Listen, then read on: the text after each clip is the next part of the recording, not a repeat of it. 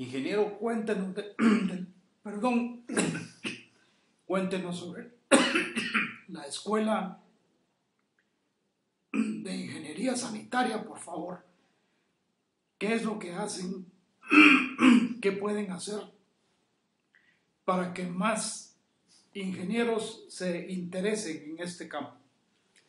Mire, la Escuela Regional de Ingeniería Sanitaria fue fundada hace 50 años, en 1964. El proyecto era mejorar las coberturas de agua potable y saneamiento de la región centroamericana. Y en ese momento las universidades de Centroamérica acababan de formar el Consejo Superior Universitario Centroamericano y decidieron aprovecharse de las fortalezas de cada una de las universidades. Entonces San Carlos ofreció la ingeniería sanitaria a nivel de posgrado. ¿Por qué lo ofreció?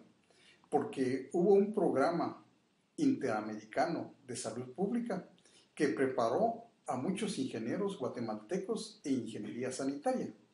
La Facultad de Ingeniería, su fortaleza en ese momento era la ingeniería sanitaria, el departamento de ingeniería sanitaria. Todos los profesores eran graduados en las mejores universidades de los Estados Unidos. Entonces decidieron aprovechar esa capacidad instalada para hacer una escuela de formación de ingenieros sanitarios. También eh, existía obras públicas que tenían un laboratorio de agua y cierta infraestructura y la Municipalidad de Guatemala. Unieron todos los laboratorios para que la ingeniería sanitaria en su formación tuviera un, laboratorio de química y microbiología sanitaria. Entonces lo ofreció al Azúcar. Fue el primer programa de regional centroamericano, el primer programa de la Universidad de San Carlos a nivel de maestría y se han formado muchos ingenieros sanitarios para no solo para la región centroamericana, sino que el Caribe. El año pasado que tuvimos nuestro congreso para celebrar los 50 años, eh, la delegación de Costa Rica nos dijo, nosotros por la Escuela Regional de Ingeniería Sanitaria aumentamos las coberturas de agua potable y saneamiento en Costa Rica. Ese fue el gran impacto de la Escuela Regional de Ingeniería Sanitaria en Costa Rica.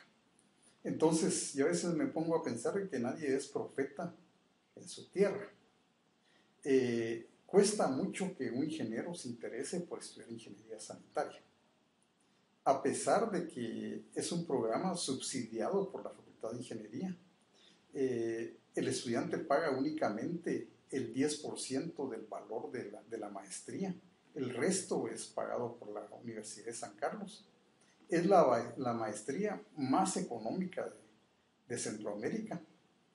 Y con ese subsidio, pues eh, deberíamos de tener muchos estudiantes.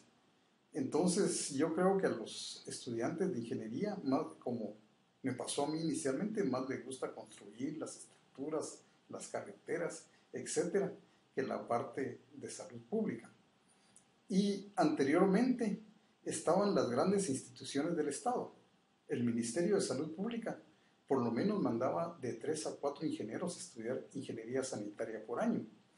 Obras públicas también mandaba ingenieros, sanitarios, eh, ingenieros a estudiar ingeniería sanitaria. El Infom, la Municipalidad de Guatemala, etc. Con la reducción del Estado y los cambios en el Estado, ya no hay plazas de 011, no hay personal que esté haciendo una carrera dentro de los ministerios y entonces todos están por contrato. Me llama la atención también de que eso está pasando en salud pública. Antes, eh, los que trabajábamos en el Ministerio de Salud Pública éramos muy estables y hacíamos una carrera en salud pública. teníamos un entrenamiento constante, cursos de capacitación, nuevos programas. Estaba la, eh, la Organización Panamericana de la Salud que aportaba mucha capacitación y prácticamente los jefes de área, los directores de los centros de salud, los jefes de las divisiones, el, eh, eh, el Ministerio de Salud, eran inamovibles, tenían una carrera administrativa y una experiencia fabulosa. Hoy me, me cuentan que cada eh, año están cambiando directores de centro de salud. Entonces es una inestabilidad que se vive realmente en el Estado, que no hay formación del personal. Y yo creo que la fortaleza de un Estado es su personal capacitado. A eso se debe también las deficiencias en la planificación en salud pública que tenemos hoy en día.